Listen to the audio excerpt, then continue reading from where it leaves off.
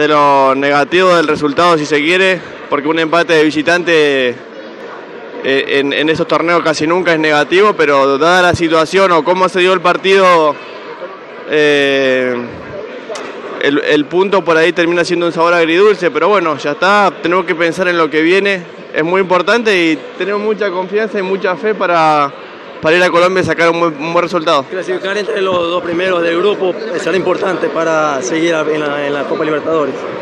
Sí, obviamente, tenemos que, que aspirar a eso porque no, no. El tercero y el cuarto no clasifican, así que si no somos primero o segundo va a ser complicado.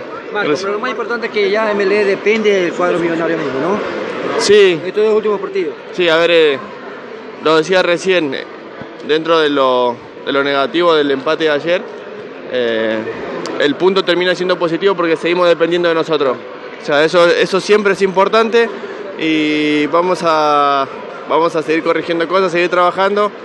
Y estamos con mucha, con mucha ilusión de, de ir a Colombia y hacer, y hacer un buen partido. Pasan por desconcentraciones por momentos algunos jugadores, inclusive el de ayer, lo de Carlos Alberto Moreno, ¿no? Que le puede pasar a cualquier jugador, ¿ah? Cosas que pasan, cosas que pueden pasar. Nada más, ahora mirar para adelante y, y bueno, estamos con mucha, con mucha ilusión. Los errores son parte del aprendizaje, Marcos, jugadores jóvenes. Hay algunos errores puntuales le han costado puntos claves en la Libertadores. Sí, a ver, lo cometen los jóvenes.